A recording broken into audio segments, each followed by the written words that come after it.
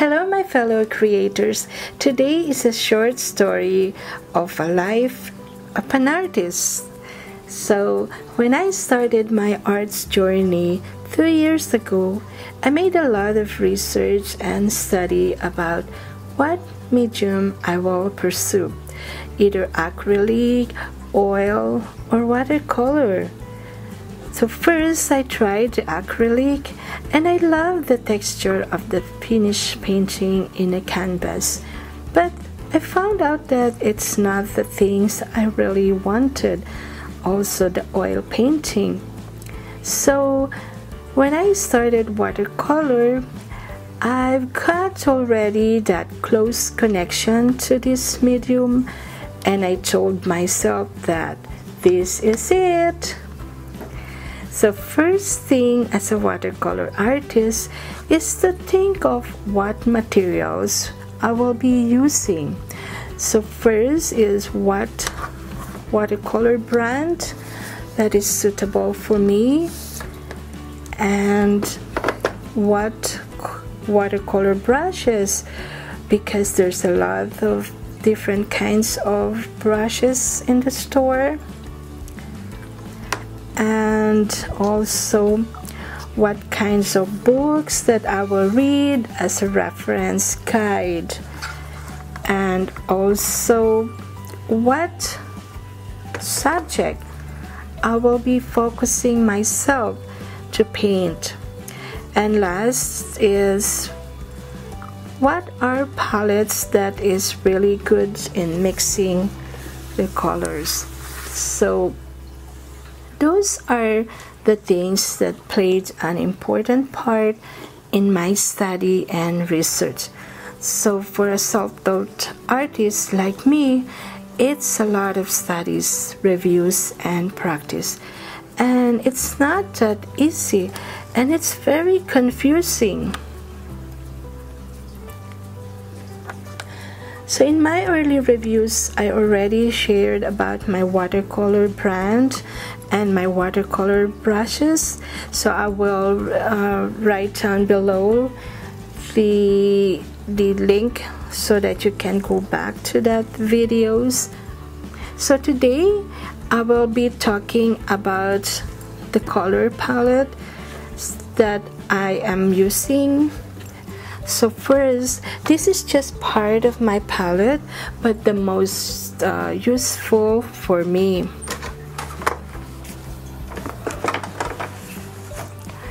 so I have this plastic palette and I put the Shinhan RPWC watercolor here. I have this uh, ordinary uh, appetizer plate that I bought in kitchen stuff this is also ceramics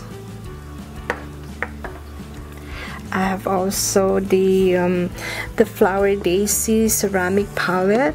It has a lovely divisions and it has seven wells and goods for mixing also. I love this to put my greens because um, greens are very difficult to mix and I have this metal palette which is I've got this um, this is a tray for a Japanese teacup. And last but not the least is my Tom Lynch ceramic palettes but before I talk to this palette let's talk about the other palettes that I show you. So let's talk about this metal palette. So metal palette is similar to um, the ceramic palettes. I love this also because you can put lots of water here and then you can mix two colors.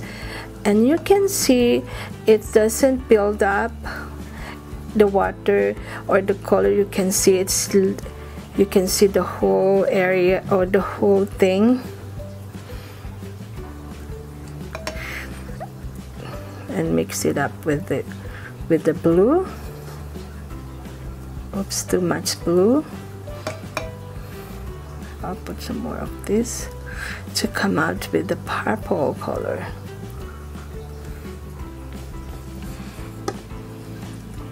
So I love the metal tin palette also because you can see the colors right away. Yeah, so I can see my colors right away.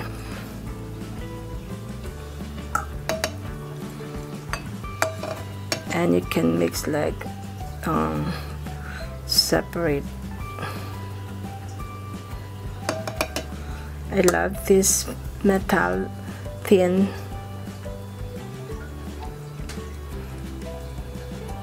you see the the water flows and it stays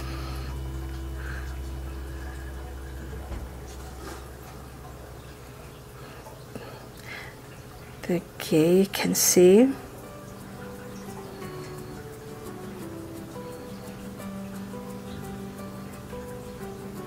You can see the blues right away.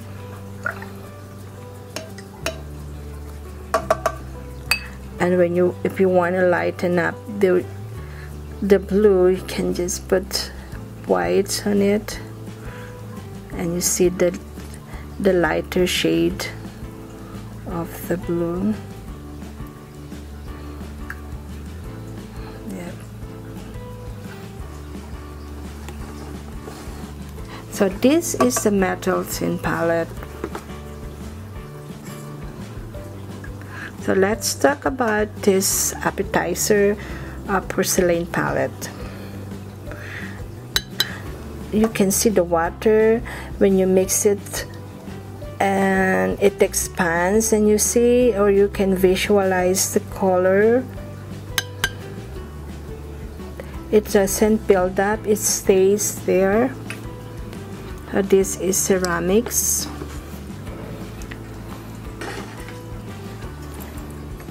Now let's talk about this plastic palette.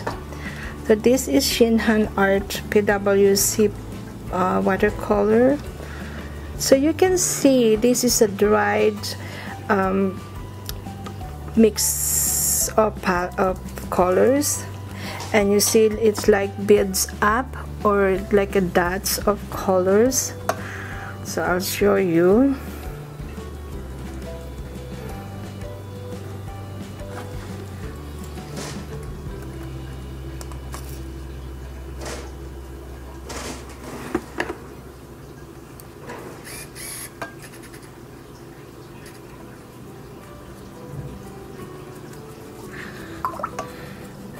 so when I mix the green all I can see is just beads up of water. It doesn't flows and or it doesn't spread. It's like forming just dots of water. And let's see this one see. I don't use this in particular this palette. This is a new plastic palette. Some I saw in YouTube that they scrub it with um, paper sand but I don't use it or I don't do it right now. So this is a plastic palette and you, as you can see it's just building up of dots of water.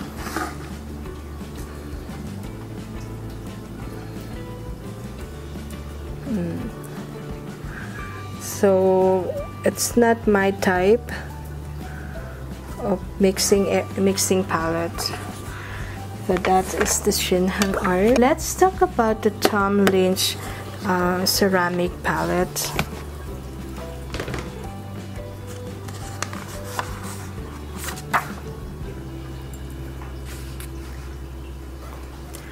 so this is a Tom Lynch ceramic palette and it made by Richeson Art Company and I ordered it at amazon.ca it has 19 wells so six wells on the sides on both sides and then seven wells on the top. It has a long one on this side. So I put extra colors in here. And as you can see there is a holder for my brush and the top here. So I put my brush to keep it safe or to keep it away from my working area. So that's what I did. I put my, my brushes here. So this is good good um, thing also. I pattern my watercolor from from light to dark or from dark to light. And this is professional watercolor by Winsor and Newton and I use this palette in particular to my uh, online school. And it is the Anna Mason tutorial school. There is a large mixing area or open area and I can mix a certain color paint mixes on the other side and the other side corner I mix a different color also. And without worrying if it will mess up with others. So I love this um, porcelain palette. Wherein I can dissolve different paint and put up lots of waters and mix them. And with that I'm able to visualize the different things uh, for example I'll mix the lemon yellow.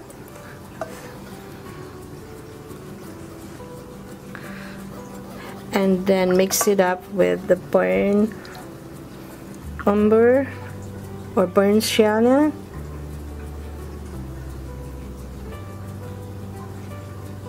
And from there I can see the different tints of colors in here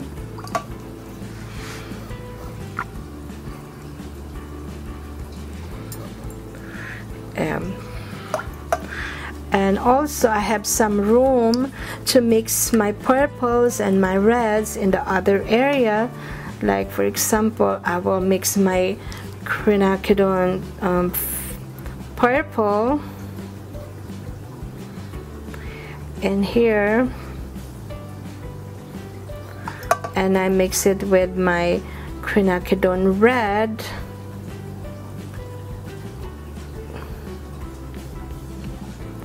I love playing with my colors. Like that. To come out with the intense color of reds. And you can see the water is just flowing.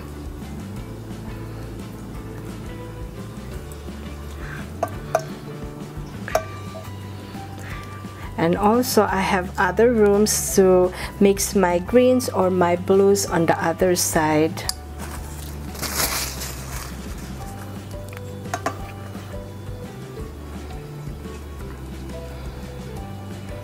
this is my blues.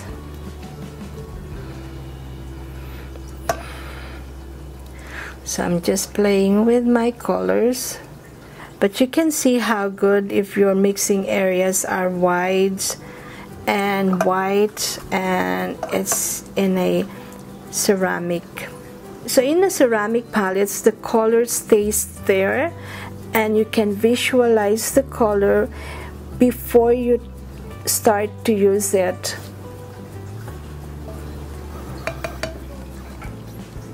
So in the ceramic palettes, the colors expands and you can visualize the colors before you use it. And when you come back, the color stays there. Unlike in the plastic palette, wherein the color doesn't spread and it's contract so this is my best palette. The color flows and running and it accommodates large brushes. And the paint when it dries it stays spread. I hope you enjoy watching my videos and you learn something about the different kinds of watercolor palette. So I'm just tilting up my my uh, ceramic palette to mix with this color. It's so nice. Although this ceramic palette is heavy and you cannot bring it if you want to do your painting outside but I'm happy with this. So enjoy everyone and I hope you had a good day and I'll see you again on my next video. Bye